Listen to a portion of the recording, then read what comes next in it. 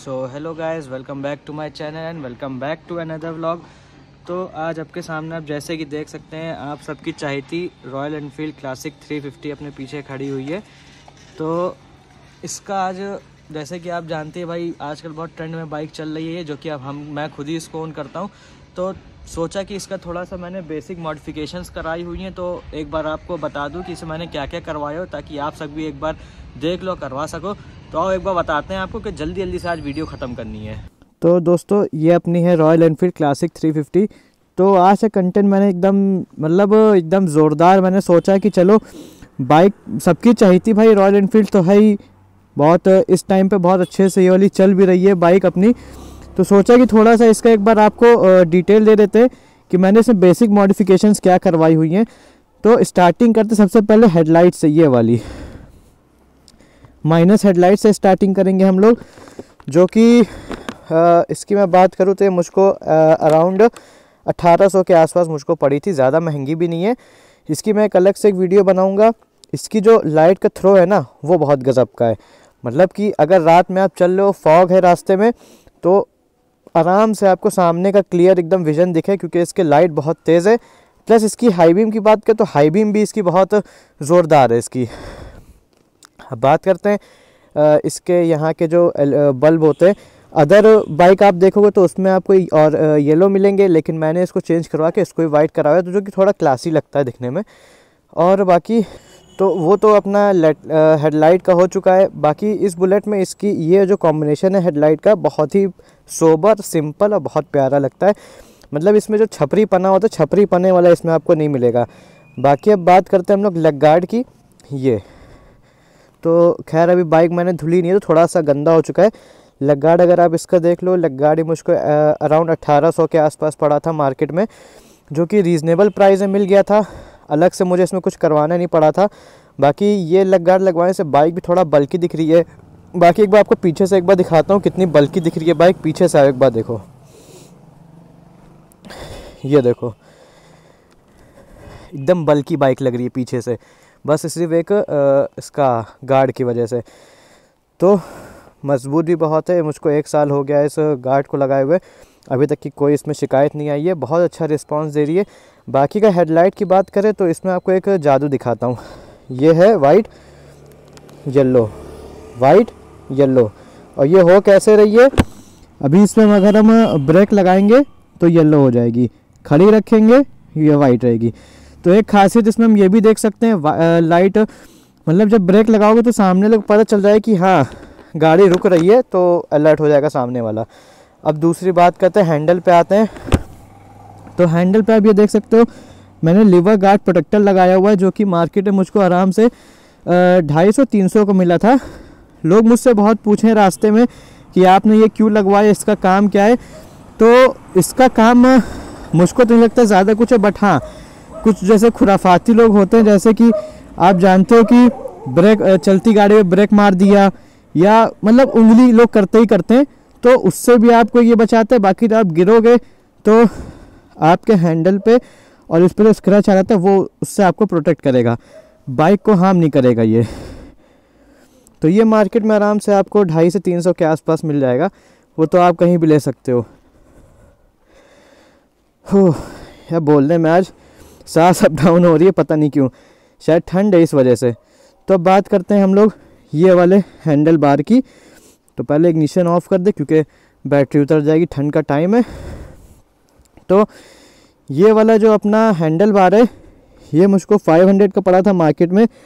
इसका जो यूज़ है, मेरे हिसाब से एक तो लुक का हो गया, और जो दूसरा मैं अगर यूज़ इसका अगर देखना चाहूँ तो इसका जो दूसरा यूज़ मुझे अच्छा लगा वो था कि जब आप बाइक को सौ पे चलाते हो, डेढ़ सौ पे चलाते हो, या नब्बे पे चलाते हो तो देखते हो आप बाइक हल्की सी वाइब्रेट करती है। तो जब से मैंने ये लगाया तो मुझको नहीं लगता जब से बाइक वाइब्रेशन बहुत कम हुआ है बाइक के हैंडल में। तो एक यूज़ इसका भी आप करवा सकते हो। तो मैंने यहाँ पे मिरर्स एक लगे हुए थे दोनों साइड में, ये और ये। तो इसे मैंने मिरर्स हटवा दिए थे। उसकी जगह मैंने छोटा सा ये लगवाया था, मुझे सिक्सटी रुपीज़ के पेयर मिल गए थे मतलब कि दो मिले थे जो मैंने एक लगवाया। तो थोड़ा लुक में काफ़ी अच्छा लग रहा है ये। ये देखो। ये। और इजीली इंस्टॉल भी हो जाएगा, इसमें ज़्यादा कुछ करना भी नहीं है। अब मेन बात करते हैं हम लोग बाइक के लेमिनेशन पे। जो मैंने मैट करवाई है अपनी बाइक को, ये देखो। दूर से दिखने में बाइक कुछ ऐसी अपनी आती है, जो कि काफ़ी शानदार लग रही है, खुद ही देख रहे होगे। तो इसमें लेमिनेशन की बात करें अगर तो थोड़ा सा इसमें प्रॉब्लम आई थी तो ये आपको क्लियरली विजिबल होगा।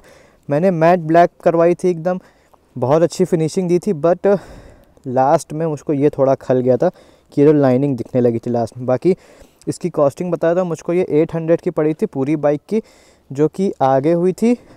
ये वाला एक पैनल था, इस पर हुई थी और ये पीछे बैक पैनल पे हुई थी। तो ठीक है, रीज़नेबल प्राइस था, आप भी करवा सकते हो। स्क्रैच वगैरह से प्रोटेक्ट करेगा ही करेगा, बाकी बाइक को भी थोड़ा सा मैट बना देता है। अब जो मेन बात करते हैं हम लोग, जो मैंने टूल बॉक्स की जो मैंने करवाई थी, ये देखो। ये टूल बॉक्स है। इससे मैंने कार्बन फाइबर की कोटिंग मैंने करवाई है। कार्बन फाइबर चढ़ाया हुआ है। इस पर भी और ये आपका एयर फ़िल्टर का जहाँ पे लगता है तो ये वो वाला पोर्शन है। तो यहाँ पे मैंने कार्बन फाइबर इस पर इस पर करवाया हुआ है और उस साइड भी मैंने दोनों करवाए। इसका प्राइस मैं जो आ, पड़ा था वो आई गेस वन थाउज़ेंड के आसपास पड़ा था दोनों साइड का। तो जैसे कि यहाँ पे भी देख सकते हो ये भी है और ये भी है। तो इससे बाइक का लुक काफ़ी अच्छा लग रहा था तो इसीलिए मैंने इसको करवाया। अब दूसरी बात करते हैं एग्जॉस्ट की। तो इसमें शॉर्ट कैन एग्जॉस्ट मैंने लगवाया जो कि मुझको 1200 का पड़ा था मार्केट में। और कैटलिक कन्वर्टर इसमें सब कुछ लगा हुआ है। माइलेज की इसमें कोई इशू नहीं है, बस थोड़ा सा उन्नीस बीस का इशू आया। बाकी लॉन्ग कैन एग्जॉस्ट आप लगवाओगे तो माइलेज उसमें बहुत फ़र्क पड़ेगा। शॉर्ट कैन लगवाइए, कोई फ़र्क नहीं पड़ेगा। आवाज़ भी अच्छी देगा पॉपअप बहुत अच्छे मारता है तो जो कि मैं नोटिस करता हूँ पॉपअप इसके बहुत अच्छे आते हैं। तो एक एग्जॉस्ट हो गया। अब अपना बचेगा बचेगा ब्लिंकर्स एक मिनट। इग्निशन ऑन करते हैं। इग्निशन हो गया और ब्लिंकर्स का ये हो गया। तो ब्लिंकर आपको दिखाते हैं एक बार। ये। ये तो कंपनी फिटेड था। इसमें कुछ बताने की ज़रूरत नहीं है। बाकी मैंने हॉर्न एक अलग से लगवाया हुआ था। तो ज़्यादा लाउड था तो उसको मैंने चेंज करवा दिया था। तो अभी बाइक को स्टार्ट करते हैं और एग्जॉस्ट नोट सुनाते हैं इसका एक बार। पहले बाइक को करते हैं न्यूट्रल एग्जॉस्ट नोट सुनो।